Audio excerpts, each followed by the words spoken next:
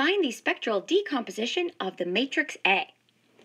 So our goal here is to rewrite matrix A as being equal to matrix Q times matrix D times the transpose of matrix Q in the linear combination representation lambda sub 1 times vector Q sub 1 times the transpose of vector Q sub 1 plus lambda sub 2 times vector Q sub 2 times the transpose of vector Q sub 2. Now, in order to write this spectral decomposition of matrix A, we need to start by finding the eigenvalues of matrix A and finding the corresponding eigenvectors. So to get started here, we need to find matrix A minus lambda times the 2 by 2 identity matrix. So our given matrix A is negative 2, 6, 6, negative 2, and we are adding the 2 by 2 matrix minus lambda, 0, 0, minus lambda. Combining up those like terms, we are left with the 2 by 2 matrix, minus 2 minus lambda, 6, 6 minus 2 minus lambda. Now, in order to find the eigenvalues, we now need to find the determinant of the matrix we just found.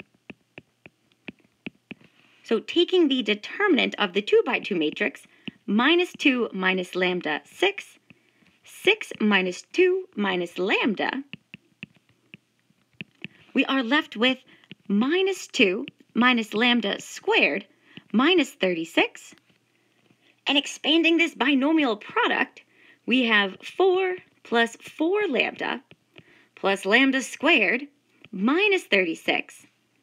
And combining up these like terms, we attain the characteristic polynomial lambda squared plus 4 lambda minus 32, which we can fortunately factor to lambda plus 8 multiplied by lambda minus 4.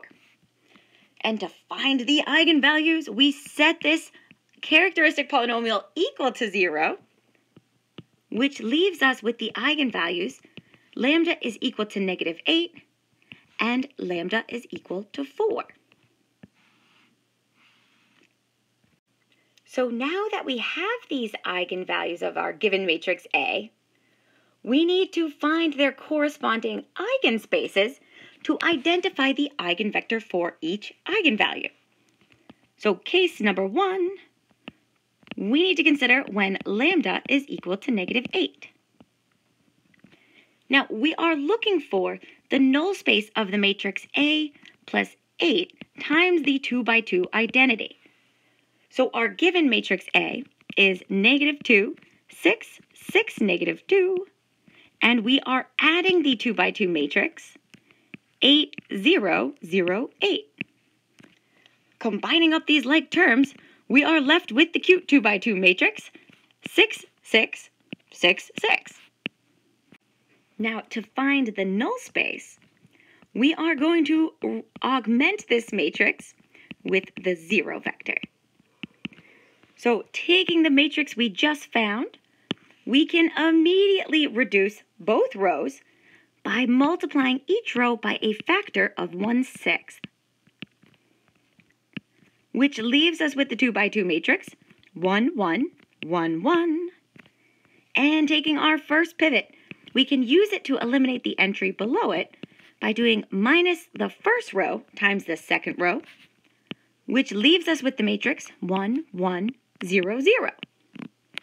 So this matrix is in row-reduced echelon form, and it's letting us know that x sub 1 is equal to minus x sub 2, and that x sub 2 is a free variable. So we can say that the solution set vector x is the set of all vectors in R2, where x sub 1 is defined as minus x sub 2, and x sub 2 is just itself because it's a free variable. So pulling out that common scalar x sub 2, we have x sub 2 multiplied by the vector negative 1, 1. So we can conclude that the eigenspace that corresponds to the eigenvalue lambda equals negative 8 is defined by the set spanned by the vector negative 1, 1. Beautiful! And very similarly, we need to do the same thing for our second eigenvalue. So we need to consider when lambda is equal to 4. And we need to find the null space of the matrix A minus 4 times the 2 by 2 identity. So our given matrix A is negative 2, 6, 6, negative 2. And we are adding the 2 by 2 matrix, negative 4, 0, 0, negative 4. Combining up these like terms, we are left with the 2 by 2 matrix, negative 6, 6, 6, negative 6. Now to find the null space, again, we are going to augment this matrix with the 0 vector and row reduce to row reduced echelon form. So taking that 2 by 2 matrix we just found, we can again immediately simplify by multiplying each row by a scalar multiple of 1 6. So excuse me, negative 1 6. Which leaves us with the matrix 1, negative 1, negative 1, 1.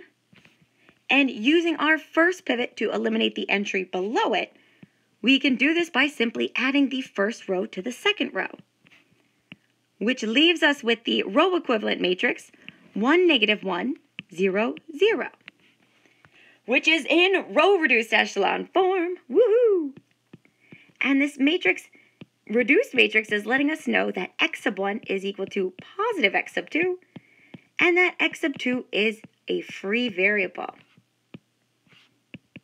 So we can say that the solution set is the set of all vectors x in R2, where x sub 1 is equal to x sub 2, and x sub 2 is itself because it's a free variable. And factoring out that common scalar multiple x sub 2, we're left with the vector 1, 1. So therefore, the eigenspace corresponding to the eigenvalue lambda equals 4 is equal to the span of the vector 1, 1.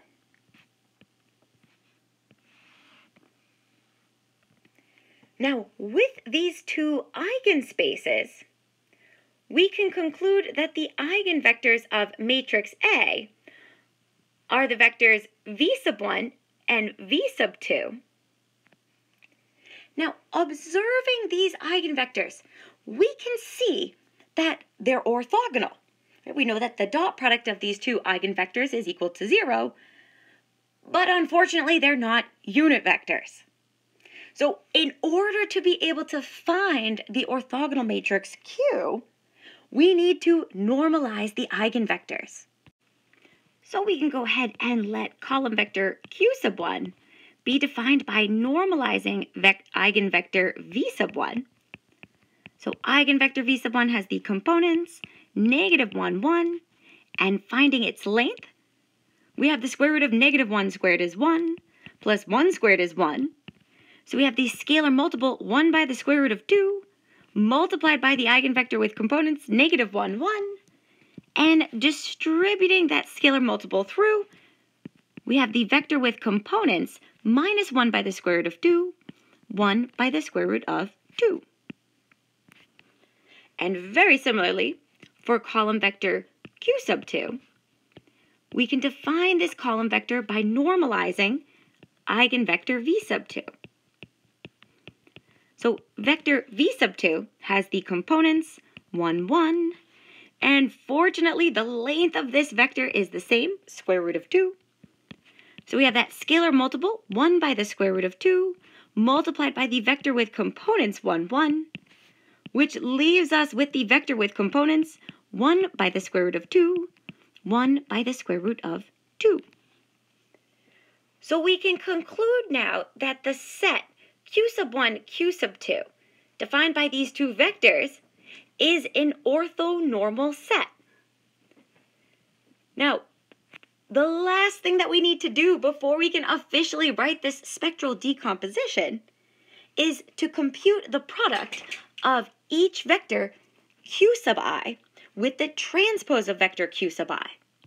So our first product is the vector q sub 1 multiplied by the transpose of vector q sub 1. So we can take the vector q sub 1 that we just found above and multiply this by the transpose. So we have the vector negative 1 by the square root of 2, 1 by the square root of 2. Now, by the row column rule of matrix multiplication, we have the first row by the first column, which leaves us with 1 half. We have the first row by the second column, which leaves us with negative 1 half. Second row by the first column leaves us with minus 1 half. And the second row by the second column leaves us with positive 1 half. We also need to compute the product, vector q sub 2, multiplied by the transpose of vector q sub 2. And again, taking the vector q sub 2 that we found above, we now want to multiply this vector by its transpose. 1 by the square root of 2, 1 by the square root of 2. And again, applying the row column rule for matrix multiplication, we have the first row by the first column, which gives us 1 half. The first row by the second column gives us 1 half. And we have the second row times the first column, which leaves us with 1 half. And the second row by the second column, which also leaves us with 1 half. Beautiful!